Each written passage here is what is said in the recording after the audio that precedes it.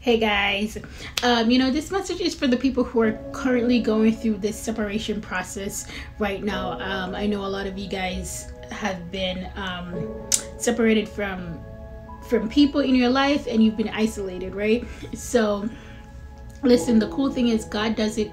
He's so graceful and he's so merciful. He does it in stages okay? He doesn't separate you from everybody all at once.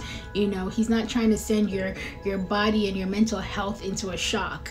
You know even though i know some of you guys may feel that way but he does it in stages okay? And i don't know how he categorized people but he he um he puts them in in these in these stages. So for example if he's trying to separate you from 50 people right? Say 50 people were in your circle he's trying to separate you from 50 of them. He will put them in stage one stage two stage three onwards okay? So the first batch that needs to go you know you need to you need to grieve them and you need to heal okay? And yes the healing process takes a while but you need to heal you need to heal to a particular uh, point right? And then he will use stage two and up people to help console you with the stage ones okay?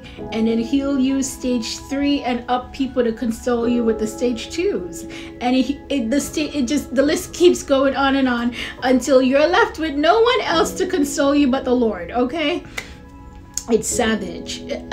Nobody goes to waste but you need to understand that the main focus on on the separation is um, you need to grieve and you need to heal. Grieve and heal. Grieve and heal.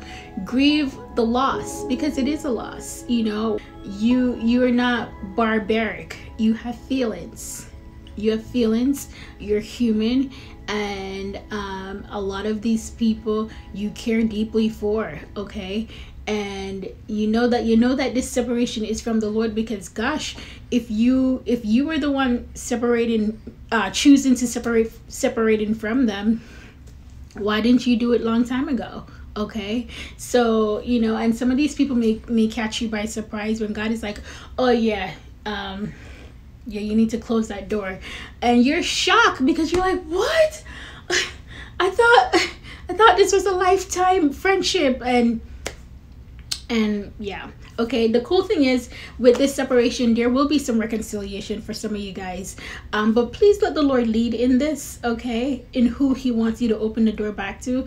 But just know grieve and heal. Grieve and heal. And take your time guys